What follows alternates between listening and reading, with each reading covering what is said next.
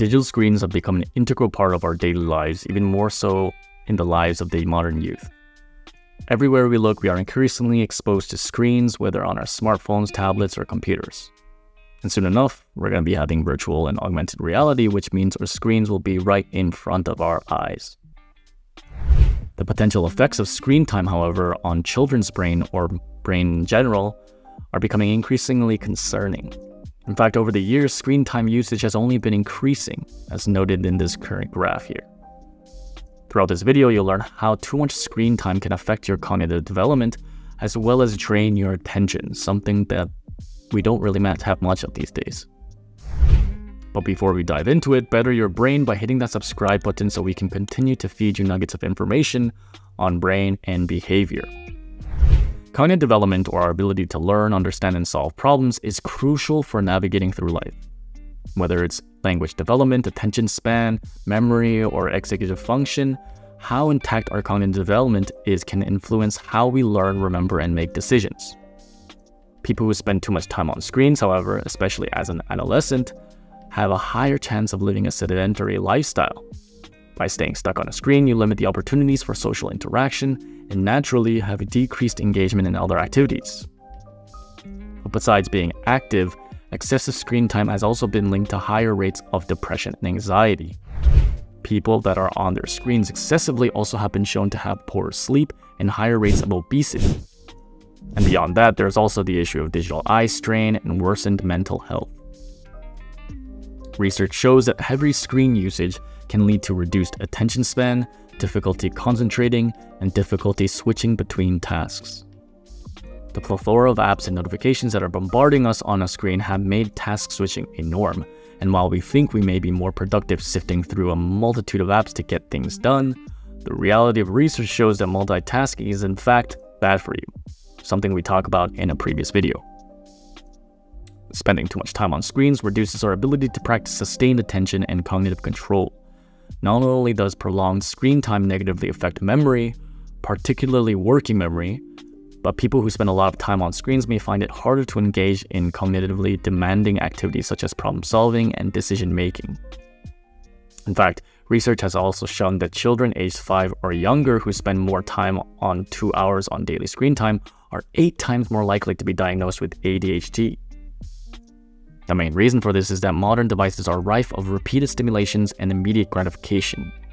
When we are frequently exposed to constant stimulation at a rapid pace, the real world around us, which is far slower than what we can experience on a screen, can feel relatively boring, thus making it hard to focus. As Michael Manos, director of the ADHD Center for Evaluation and Treatment Center in Cleveland Clinic, states, screen time makes the regular world seem rather dull, like watching a plant grow. The main reason for this, we have two different underlying types of attention to do things automatic and direct attention. The former is associated with the brain's default mode network, which we use to interact with something that is engaging. Often, this is things like social media or video games. The latter, directed attention, however, is linked to our task positive network, which we use to concentrate on tasks like studying, reading, or meditating. And often activities that require more effort and labor require directed attention. It just happens to be that these types of tasks seem less stimulating. However, they are much more fulfilling in the long run. In addition to cognitive development and attention, excessive screen time can also impact emotional development. Social interaction and emotional regulation are crucial skills that develop during early childhood and play a significant role in our overall mental well being.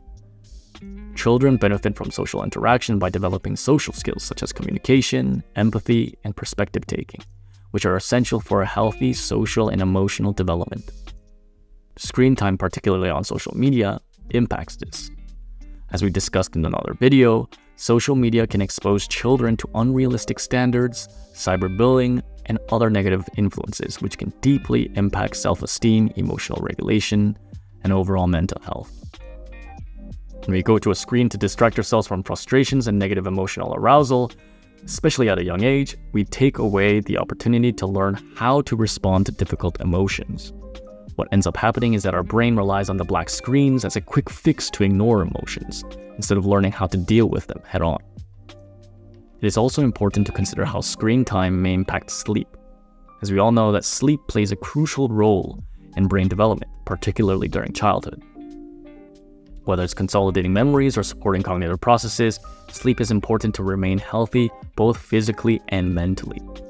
Screens these days, however, tend to emit blue light, and this light itself disrupts sleep patterns. Blue light emitted by screens can interfere with the production of melatonin, a hormone that regulates sleep. Exposure to screens, especially before bedtime, can suppress melatonin production, making it harder for children or people in general to fall asleep and stay asleep.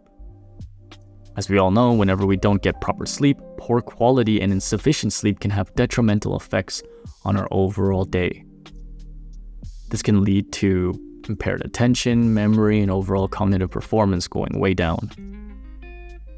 Research has also shown that people who spend more time on screens, particularly before bedtime, are more likely to experience sleep disturbances such as difficulty falling asleep, staying asleep, and experiencing daytime sleepiness doom scrolling or the act of surfing through the web or newsfeed and reading through negative news can delay REM sleep, keeping us up for hours beyond bedtime.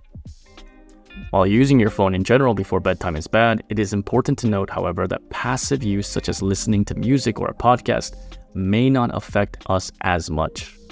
It's primarily active use, such as texting or social media scrolling, that hinders us.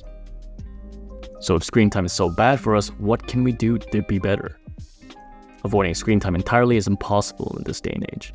Technology is an integral part of our lives, but what we can do is try to set screen time limits.